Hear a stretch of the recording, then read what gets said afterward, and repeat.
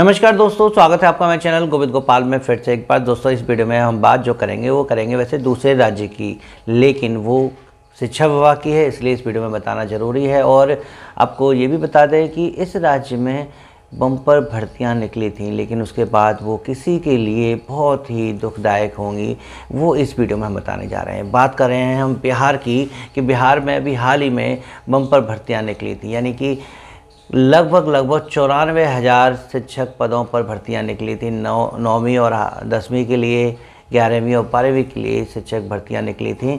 और अभी बिल्कुल कल ही ये लेटर जो है सोशल मीडिया पर आया है, तीस तीन 2024 का, कि अचानक ही इन उच्च माध्यमिक विद्यालयों में पढ़ा रहे सभी पारिश्रमिक पर अतिथि शिक्षकों की सेवा ख़त्म कर दी गई है। जी हाँ चौरानवे हज़ार लगभग शायद अतिथि शिक्षक होंगे जिनकी सेवा समाप्ति का पूर्ण रूप से निर्देश दिए, दिया गया है और सख्ती से कहा है कि कोई भी एक अप्रैल 2024 से विद्यालय नहीं पहुँचे। यानी एक अप्रैल 2024 से कोई भी अतिथि शिक्षक कार्यरत नहीं होना चाहिए, जिसका प्रमाण पत्र भी सभी जिला शिक्षा अधिकारियों को तीन अप्रैल तक देना होगा।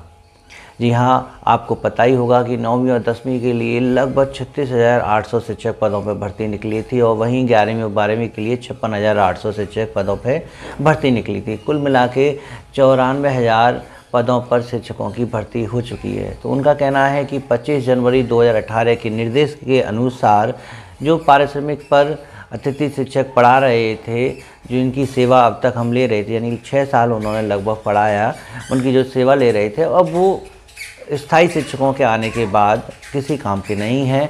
अब उनकी हमें आवश्यकता नहीं है, इसलिए अब उनको निकाला जाता है। और निदेशक माध्यमिक शिक्षा ने ये आदेश जारी कर सभी जिला शिक्षा अधिकारियों को निर्देशित कर दिया है कि ये पूर्ण संतुष्टि करें कि कोई भी तीन चार 2024 से कार्यरत नहीं है आपके ज़िले में। है अजीब सी बात। सुनने में भी अजीब लग रहा है कि सिर्फ़ एक दिन, आज संडे है, इकतीस तारीख है तो अचानक से इस तरीके से सेवा समाप्त करना बहुत ही मतलब शॉकिंग इवेंट है कि हम कैसे माने कि जो शनिवार को स्कूल में पढ़ा के आया है, वो सोमवार को नहीं जाएगा, सोमवार को उसकी नौकरी ख़त्म। जबकि ऐसी कोई चर्चा भी नहीं चल रही होगी। ये सिर्फ़ एक आदेश है और जो अचानक निकला है और जिसमें अब लगभग इतने जो एक, एक किसी भी तरीके कितना भी मानदेय मिलता हो कितना भी मिलता हो लेकिन कहीं ना कहीं वो उनकी नौकरी थी जो अब नहीं रही है। तो जहाँ बहुत से लोग ये बता रहे थे कि बहुत अच्छा है। बिहार में जॉब निकल रही है, स्थायी शिक्षकों कितनी निकल रही हैं तो नौकरी पाने वाले तो बहुत खुश हैं, लेकिन उनके नौकरी मिलने से चौरानवे हज़ार ही अतिथि शिक्षकों के घर की जो आय थी, वो ख़त्म हो गई। तो दुख थोड़ा सा हो रहा है और इससे सिमिलरिटी हम ये मान के चल रहे हैं कि यदि ऐसा यूपी में भी होता है, जो कहते हैं कि जल्द से जल्द यूपी सरकार भर्ती निकाले, यूपी सरकार भर्ती निकाले तो कहीं ऐसा तो नहीं कि एक लाख बहत्तर हज़ार पद भरने के बाद और फिर और अन्य पदों को भी स्थायी शिक्षकों से भरने के बाद शिक्षा मित्र, अतिथि शिक्षक की तरह तो नहीं।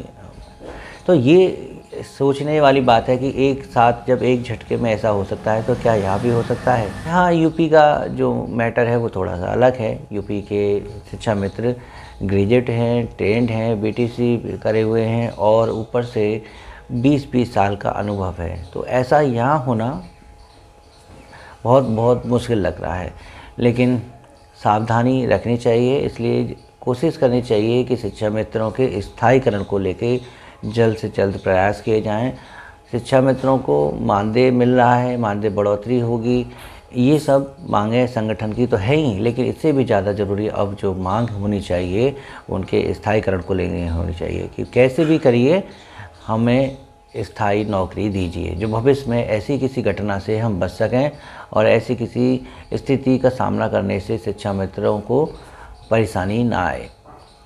तो स्थायीकरण, हमें लगता है शिक्षा मित्र संगठनों की अब एक प्रमुख मांग होनी चाहिए और इसके लिए चुनाव बाद ही शायद संगठन प्रयास करेगा। अभी तो फ़िलहाल कोर्ट केस में संगठन फंसा हुआ है, उसमें लगा हुआ है। क्या है वो जानकारी हम आपको अगली वीडियो में बताएँगे, लेकिन फ़िलहाल हमें आपके कमेंट नीचे पढ़ने हैं, देखने हैं कि आपका क्या कहना है। और वीडियो अच्छी लगे तो प्लीज़ लाइक कीजिएगा, शेयर कीजिएगा। चैनल पर नए हो तो चैनल को सब्सक्राइब कर लीजिए। मिलेंगे आपसे अगली वीडियो में ऐसे ही कुछ अपडेट के साथ। तब तक के लिए नमस्कार, जय हिंद।